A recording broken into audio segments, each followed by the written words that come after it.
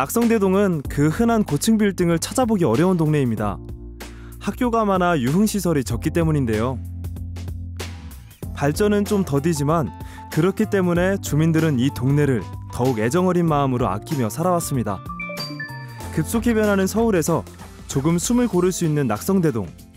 이곳엔 시간이 조금 느슨해지는 공간들이 있습니다. 오랫동안 이 길목을 지키고 있는 헌책방. 근처 대학생들은 물론 주민들이 오며 가며 들르는 아지트 같은 곳인데요. 서점보다 책방이라는 말이 더 잘 어울리는 정겨운 곳입니다. 안으로 들어가면 오래된 책의 냄새가 코를 간지리는데요. 안녕하세요. 주인 안녕하세요. 되시나요? 예. 그 캠퍼스 안에 얼마나 되셨어요? 하기는 86년부터 이 직업을 했으니까 한 30년 거의 돼가지 세월이 많이 흘러버렸어. 조금만 하고 말라고 그랬었는데 네. 평, 평생 하게 생겼네. 저희 여기가 잘 되는 데 없어요. 아 여기 잘 되나요 어르신? 네, 잘 돼요. 아주 손님들 많아요, 항상. 이곳은 항상 책만큼이나 많은 손님들로 북적입니다. 대부분은 목적 없이 그냥 지나가다가 방문하는 경우가 많은데요. 소설부터 참고서, 인문학 서적 등 없는 게 없는 헌책방. 다양한 종류의 책들을 아주 저렴하게 구입할 수 있다는 것. 헌책방의 가장 큰 매력이죠. 몇 번이나 보면 다섯 건이요. 고지 올라가지고 번이요? 기껏 뻑 꽂아놓고 그래. 총 15,000원 이상 하니까요. 저기 4,000원 하면 네, 하나 첨삭 안 해버려. 4분의 1 근데 가격이네. 그꼭 사지 않아도 괜찮습니다. 그럼 언제부터 여기를 아신, 아셨는지 제가 여쭤봐도 될까요? 10년? 10년이요? 어렸을 때 한식방에서 그 전과 같은 거 살 때 그런 그런 느낌. 이곳에선 어릴 때 아끼던 책을 다시 만날 수도 있고 또 가장 최신 소설도 만날 수 있습니다. 운명처럼 원하는 책을 만나게 되는 묘미가 있는 헌책방. 숨은 책들을 골라내는 재미도 있으신 것 같아요. 그쵸, 네. 생각도 못했는데, 어, 알고 있던 책인데, 여기 있네, 해가지고. 그러니까 기대 없이 왔다가 뭔가를 찾으면 더 이제 특별해지는 그런 느낌. 이 책방에는 유쾌함도 감도는데요. 지나가다 길을 물어봐도 좋고 슬쩍 과제를 위해 메모만 해가도 오케이. 누군가의 손때 묻은 책들은 이곳에서 새로운 주인을 만나고 그들의 책장에 다시 자리를 잡겠지요. 너 다른 사람들은 안 오네. 나올지 3만 음. 4만 원이네요.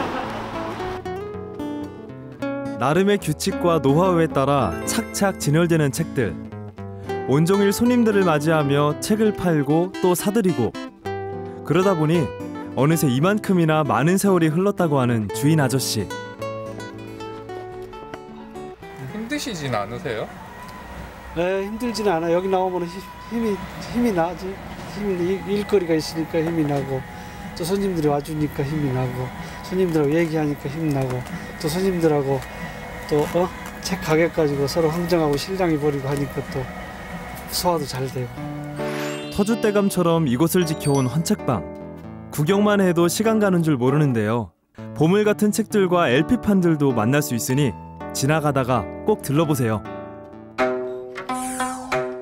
세월의 깊이가 곳곳에서 느껴지는 동네 낙성대동. 그 중에서도 오랜 역사가 담겨 있는 곳이 있습니다. 낙성대 공원 가장 안쪽에 있는 안국사. 공원엔 마치 금방이라도 적군을 향해 돌진하는 듯 기계가 느껴지는 동상이 우뚝 서 있는데요.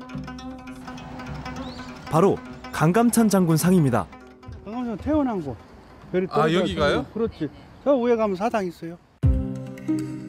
동상에서 50m 정도 떨어진 곳에는 강감찬 장군의 영정을 모신 사당 안국사가 있습니다.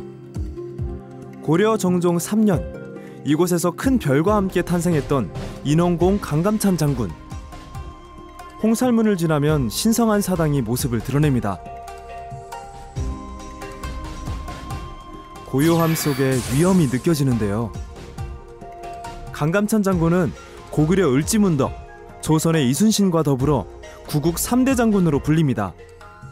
72세의 나이로 귀주대첩에서 10만 거란군을 무찌른 명장 강감찬.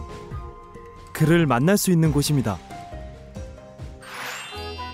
꼭 참배의 목적이 아니라 해도 이곳에 들르면 역사의 고즈넉함을 느낄 수 있습니다.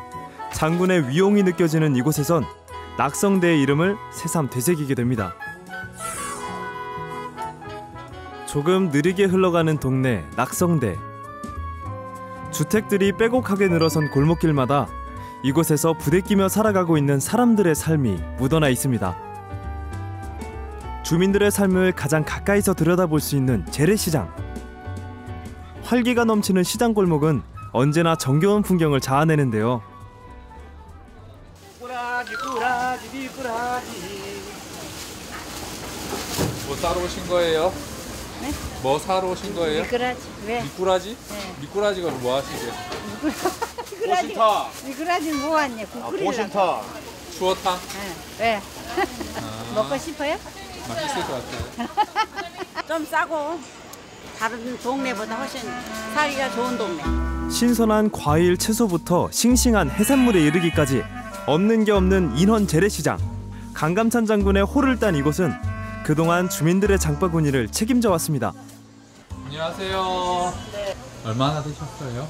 한 30년. 여기 엄마트 지하에가 어, 원당 시장이었어요. 인원 시장으로 된 지는 한 4, 5년 됐지? 옛날에는 엄청 잘 됐죠. 다 모든 장사가 다 잘 됐어. 근데 지금은 지금은 아주 안 돼. 너무 안 돼. 하지만 1인 가구들이 늘어나면서 재래시장을 찾는 사람들이 많이 줄어들었다는데요. 한 1,400원밖에 없네 돈이. 1,400원치로 파세요? 아 돈대로 다, 달라 그래서 드려야지. 어쩌겠어요. 그래도 후한 인심과 정은 예나 지금이나 변함이 없습니다. 시장 자주 좀 이용하세요? 예, 아, 난 여기 여기만 오는데. 여기만 단골이세요? 예, 그 여기만 오지 어디 갈 데가 있어. 시장 한복판에 자리한 한 만두 가게. 오랫동안 낙성대 주민들에게 사랑받는 곳인데요. 안녕하세요. 예. 어이구 엄청 바쁘시네. 좋은 재료를 아낌없이 넣어 빚은 만두. 이 손끝에서 매일 수많은 만두들이 예쁘게 빚어집니다. 만두에 바친 세월만 벌써 수십 년이라는데요. 만두 하신 지 얼마나 되셨어요? 아저씨는 50년 넘었죠. 나는 그러니까 30년 넘었어. 40년쯤 됐겠네. 만두 하나만큼은 자신 있다는 사장님. 어느새 김이 모락모락. 갓 쪄진 만두가 정말 먹음직스러운데요. 속이 꽉 찬 만두. 그때는 장사 너무 잘 됐어. 줄 섰어. 서로 살라고 사고 그랬는데 지금 하도 오래 먹으니까 계속 먹다 보니까 사람들이 번 돈으로 뭐 하셨어요? 뭐 애들 키우고 그렇죠. 집도 샀지. 오. 만두와 함께 빚어온 세월. 그동안 많은 손님들이 이곳을 드나들었고 단골 손님도 많아졌습니다. 혹시 반반 돼요? 반반 주세요. 저 초등학교 초등학생 때부터 그러면 한 여기 오신 지 몇 년이나 되신 거예요?